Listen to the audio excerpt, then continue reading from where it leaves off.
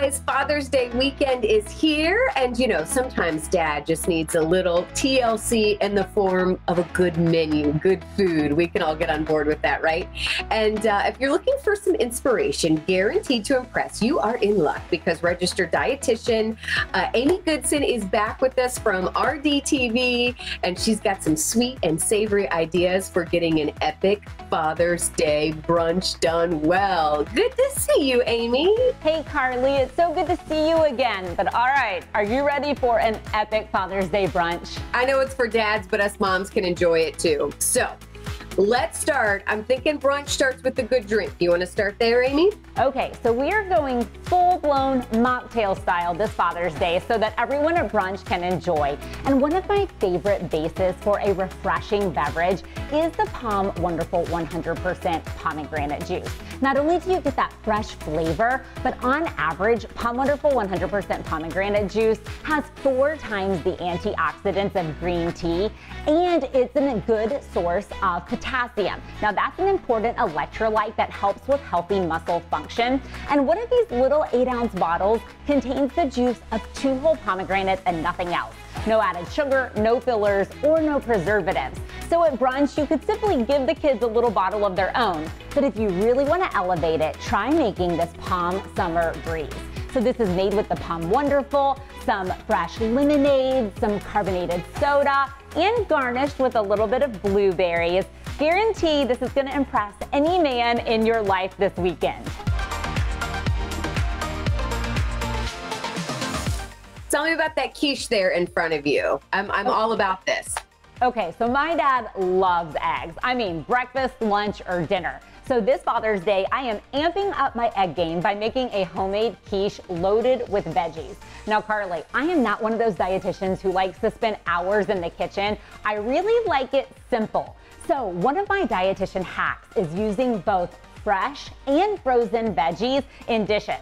So to make this quiche, I started with an egg base. Then I added frozen spinach, frozen mushroom, fresh tomato, a little bit of thyme, pop that in the oven at 350 for about 40 minutes, and voila, absolutely delicious. And another one that I like using during the summer is frozen fruit. Now, I'm sure I'm not going to surprise you when I say that the frozen food category has become the fastest growing area at the grocery store in the last year. And for good reason, because they have frozen veggies, frozen fruit, snacks, entrees, so many things to choose from. But during the summertime, I love making smoothies, or what's really fun is to make smoothie bowls. So for brunch, this is a great option because everyone can add their favorite toppings. And I used my dietitian hack here by using both fresh and frozen fruit. So I made these smoothie bowls with fresh banana, frozen berries, and A2 milk. No, Carly, I said I made this with A2 milk. Do you know much about A2? So I've heard a lot about it, but I have not yet to try it. So tell me again, refresh my me memory on why I need to. So A2 milk is 100% real dairy milk that comes from local U.S. farms. And it comes from cows that naturally produce only the A2 protein and no A1. Now, what's interesting is that a recent study out of Purdue University found that some people that experience stomach discomfort after drinking regular milk may significantly reduce their symptoms if they drink milk containing the A2 protein only. So that means for millions of Americans, A2 can be a great choice.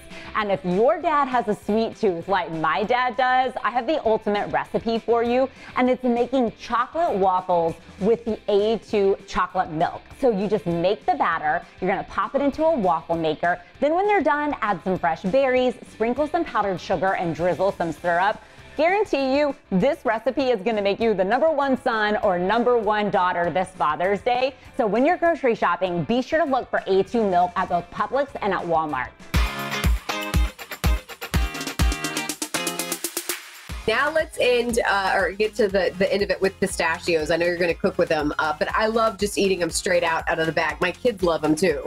Yes, I love wonderful pistachios as a snack nut because, like you said, we have no shell, we have in shell, all these different flavors, so there's lots of variety, and they actually have two new flavors, barbecue and sea salt and vinegar. But like you said, what's cool is that you can cook with wonderful pistachios.